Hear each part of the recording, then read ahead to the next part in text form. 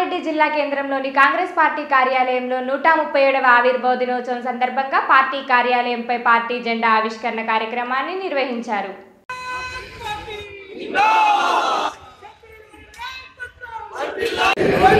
cycle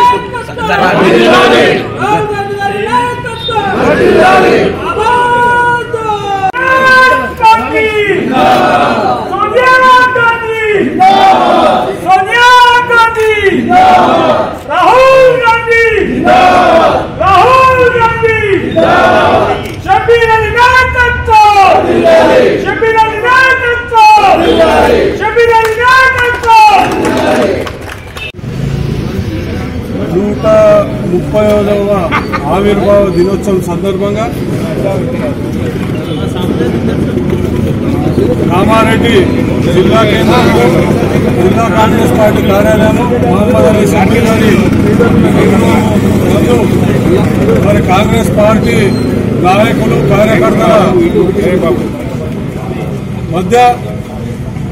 party జెండా ఆవిష్కరణ పంతొమ్మిది వందల ముప్పై